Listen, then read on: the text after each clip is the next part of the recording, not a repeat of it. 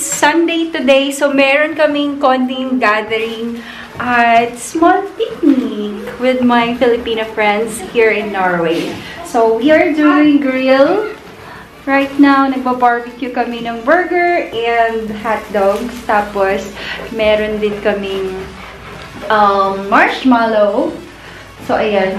Actually, complete set ako kanina. Pero pagdating ko dito, nag-start na sila mag-grill.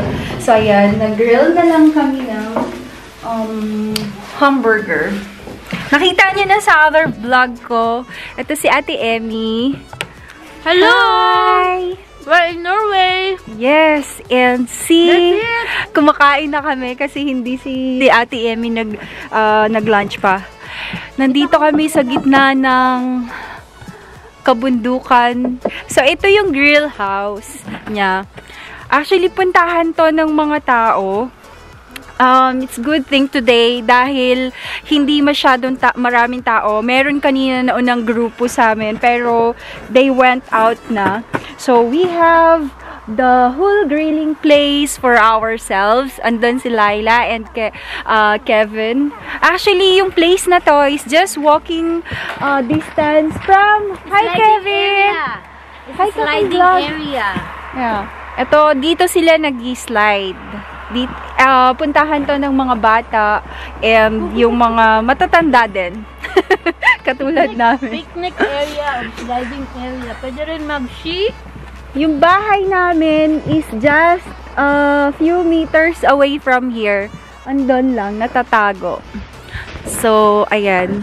Ganito siya. Tapos may mataas na bundok dyan. Pwede yung mga marurunong na talaga mag-slide. Pwede mag-start dyan. Pero yung mga pambata is starting here. Mama! Okay, go na!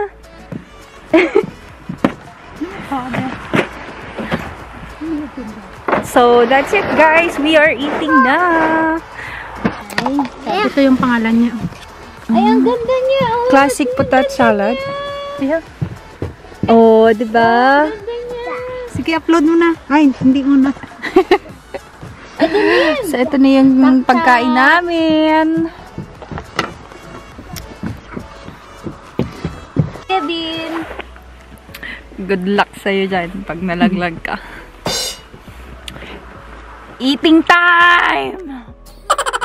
Ate Emmy, halika dito. Kain ka na. Yeah, yeah, yeah, yeah, yeah. Go, bro. Okay. Yeah, kahol. Des kahol. Kasi tapos yan. Nice. Go, bro. Mmm, ang sarap. Tabot. Dahil ang sarap ng potato salad. Masarap siya. Mm-mm. Yan, marami yan pag summer. Marami silang mga pag summer, marami din sila din. Iba-iba klase na pang grill. Mm. Yeah, pag summer. Hey! Bye, Kevin! Try mo nga. Mag-slide na ako. Mag-slide tayo. Ay, oh my God! Ang, ang dulas!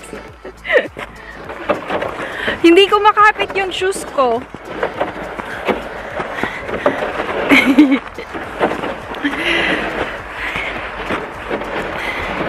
So, ayan.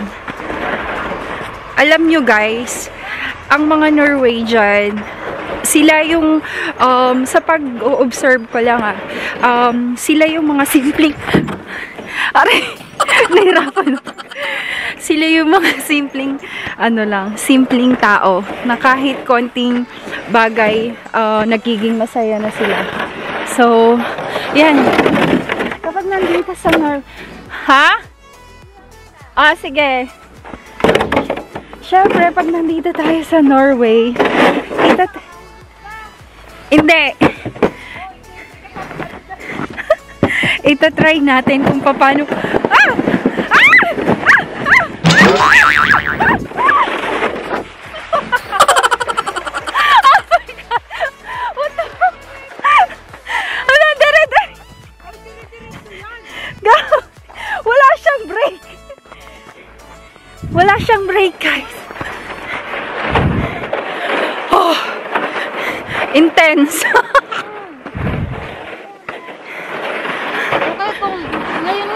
ang ang... Ang sakit ng butt ko. snow ngayon. Oo, kasi ano na siya, tumigas na siya. Malambot kasi nabasa siya sa ulan. Mali pala yung plano kong mataas agad. Dapat dito lang.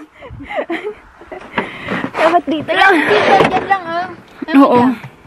Kanyang kita kasi. Dito lang tayo sa mababa, guys. Kasi, um, ano lang tayo. Nag-aaral pa lang tayo. Ayun ang record. Record na ba?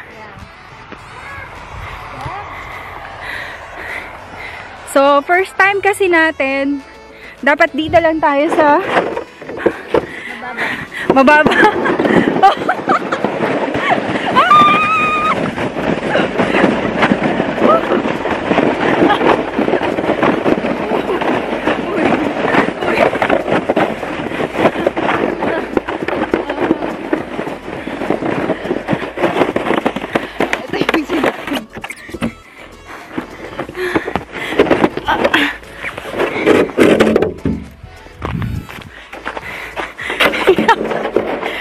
Masaya pala mag magpa-dose-dose.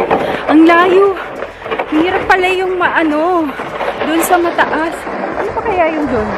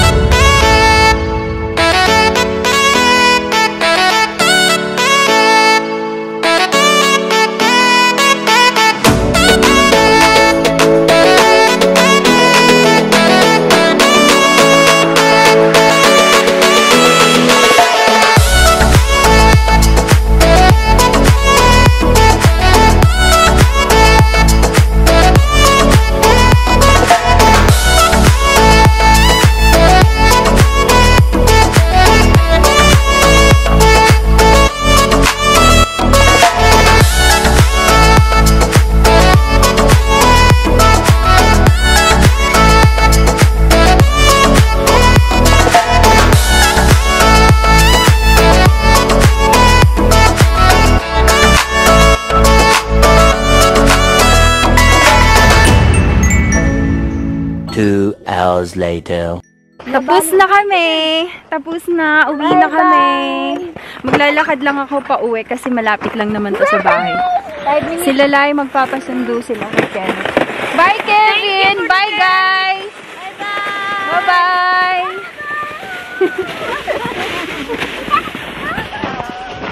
Ayun! Bye, guys! See you next Sunday. Someday, Yes, saan tayo?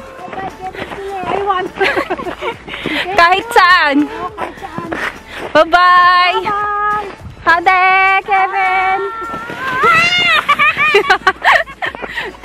Dito na ako, Lai. Ate, bye-bye! Ayan, dyan lang yan siya actually, guys. At yung dala kong kahoy kanina, nagdala ako ng kahoy pang grill namin. Dala ko pa rin siya hanggang ngayon. Sayang naman kasi hindi namin nagamit kasi ayun, may kahoy sarili yung green grill house. So hindi namin nadala na gamit yung kahoy na dala ko kanina. Ayun, pero um, yung food din namin hindi namin naubos. Nag-enjoy ako kaka-slide doon. Ang sarap pala. Well, ang, yun nga, yung sinasabi ko kanina, ang Norwegian, since yung um, country nila is malamig, and eto nga, mas snow, so, ang activities nila, actually mahilig sila sa outdoor activities, kaya ayun, isa ang slalom and skiing, and sila ang one of the famous country when it comes to skiing and slalom. So yun, um, since nandito tayo sa country nila, which is napakaganda ng country nila, tayong mag-adjust. Let's adopt their culture and, yeah, their way of living. So yun guys, see you later at home. Okay?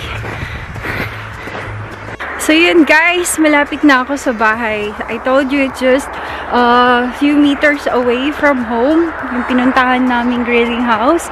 So, yeah, I just also want to share that when you here in Norway, it's really uh, has a lot of difference when it comes when we are walking in the street kesa sa nasa Pilipinas tayo. Kasi sa Pilipinas, kapag may sasakyan, talagang ikaw, yung mga pedestrian, kayo yung mag adjust sa mga sasakyan. It's true, di ba?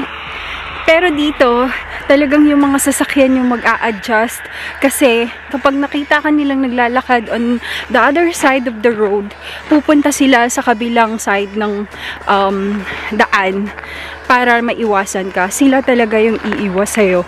Kung um, meron silang nakakasalubong, then they will actually stop like sometimes they will totally stop para lang uh, mapagbigyan yung ibang sasakyan and makapaglakad ka ng maayos. Ganon ang pag ang nakita kong difference which is so good and kasi it's very safe for those who are walking down in the street. So ayun. So andyan na yung bahay namin. It was a fun Sunday indeed. I hope nag-enjoy din kayo kapapanood ng video na to. So, I hope to see you again on my next video. Thank you guys, always. And be safe, be well. Happy Sunday, everyone. Hmm.